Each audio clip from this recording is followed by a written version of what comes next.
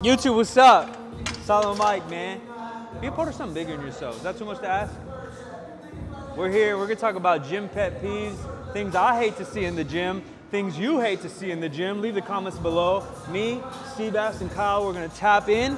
And the number one I hate hate to see is um, probably a chatty Cathy. And, and I know you guys are saying, well, Mike, that's quite hypocritical of you because you're talking to a camera right now in the middle of a gym. Well, yeah, mother bitch, I'm here to entertain and help you. But someone that only talks, you know those guys. They're just always, they don't even got a sweat going, they ain't got a pump, they're just always doing one of these. And for some reason, the chatty Cathys are always leaners. They can't just stand and have a conversation, they're always one of these. And it's on your bench. If you're benching right here, or Kyle's squatting right here, Kyle's squatting right here, it's always like this. And they prevent you from lifting. You've seen that? Yeah, they block you. They block you. They want your attention so bad. Or I know Kyle's trying to get some water, and the water's over here. The chatty Cathys in the gym. Oh. I think they play And psychological they know that you don't want to talk. And they know where you gotta go. Like you're squatting, and they're always like, I'm like this. yeah, yeah, yeah, yeah. He's fucking. got like- like- I can see his cotton. I can see your cotton mouth, and, and they always are blocking. And then you're trying to, yeah, man, yeah, I was, I did have a good day. Yeah, you wanna, yeah, you wanna go golf? Yeah, yeah. they're playing, they're playing man to man. They're playing man to man D. That was my number one. That's my number one pet peeve. Yeah, for sure. That's clean, dude. That's clean. You the one that says that you hate kids that use kilos? Your hair's all like fuzzy. I hate kids that have to lift with kilos. Oh, okay, okay. I respect specificity. I respect the strength endeavor of powerlifting. But if you're not strong enough mentally or adaptable mentally, shout out my boy Russ Swole. Not that he needs my little shout out, but uh, Russ talked about the other day. Someone said like, well, how do you train in like a commercial gym? Or like, what if you can't find the barbell? Like, lift weights, man. Like, y'all are so spoiled. Like, they okay, that, that's a gym pet peeve, swear. And it's a little niche, right? Because it's about powerlifters in specific. But like, bro, the strength gym that has kilos is less than a decade old. That wasn't a thing. The strength gym that has matching pound plates is less than a decade old. That wasn't a thing. That doesn't have a bent bar wasn't a thing a decade ago.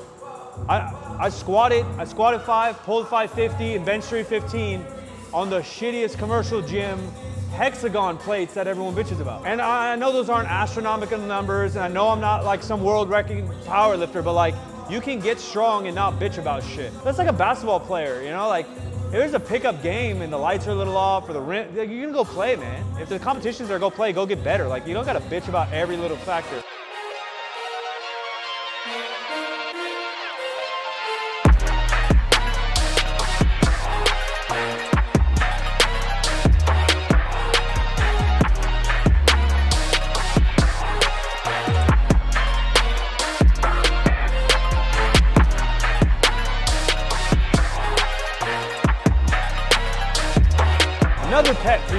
Niche side is people like talking about like, I no, I, I need kilos. No, kilo is a measurement of weight. You may want calibrated plates, which often come in kilos, but a calibrated plate, I understand, right? If you grab a random steel plate, it may weigh 47, it may weigh 43, although it says 45. You find it calibrated, it says 45, it's gonna be 45. Um, here at Third Street, obviously we're lucky. Like we got these highly, highly crafted Avenco plates. I can't guarantee they're as calibrated as these, but they're pretty calibrated, right? They're not 30 years old and chipped and, and, and dipped in steel. Like they're, they're, they're, they're manufactured to be quite accurate. But if you just tell me you need kilos, huh? I don't need a gallon of milk. I only drink 128 ounces of milk. That's the only way to get jacked. So all I'm hearing is that Mike hates everyone from the EU. No, no. Because the EU kids don't say I need kilos because even those plates are in kilos. No, because they're all exactly. I know, but they don't say that. I hate that. No, no. I hate the people that say they want kilos and don't know what they're asking.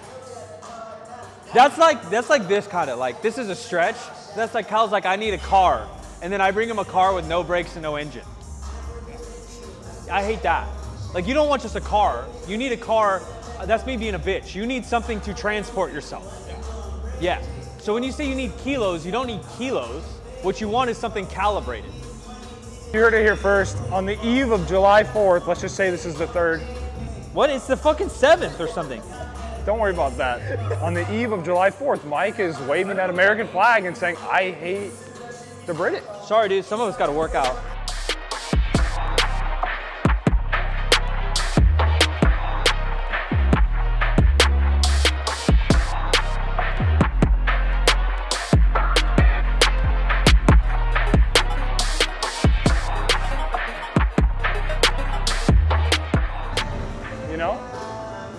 Would say the same thing? Yes. Really? They would, yeah. I'll be like, get them little piggies away from me. Whoa. They say, honey, honey, I've had a hard day. We rub my toesies, and you're not gonna rub her toes. There's a difference between taking care of your woman's feet and being like, I want those in my mouth. Yeah, he's got yeah. nothing. He's got nothing. No, no, Look I do. He's usually like I snappy don't know. like that. I don't know. I, I'm trying to think how to navigate this for YouTube TOS. This is what we're headed toward. I think you start just kind of. I think you. You know what? Si- This is the year Silent Mike needs to start letting go a little bit. No, I don't. No, it's not about letting go. No, like start just fucking. So like, I think. I, I don't Mike know. is a foot guy. No, so so that's where we're headed. I don't know what it's like to be a foot guy. Like uh, DM every girl and say, "Wow, show me them toesies." I don't know what that's like. That's next level. Okay, that's But- a small percentage. I don't know, man. They seem loud on the internet. It might be the loud, like the yeah, talking to minority or whatever the fuck. But I do think that if I'm in love, this is all hypothetical. But if I'm in love, breasts, eyes, personality, bank account, booty, all those things turn me on. But I don't think the foot's turning me off. If it's in the vicinity, it's probably getting it too. He might. Oh, oh. Yeah, it's probably getting it too.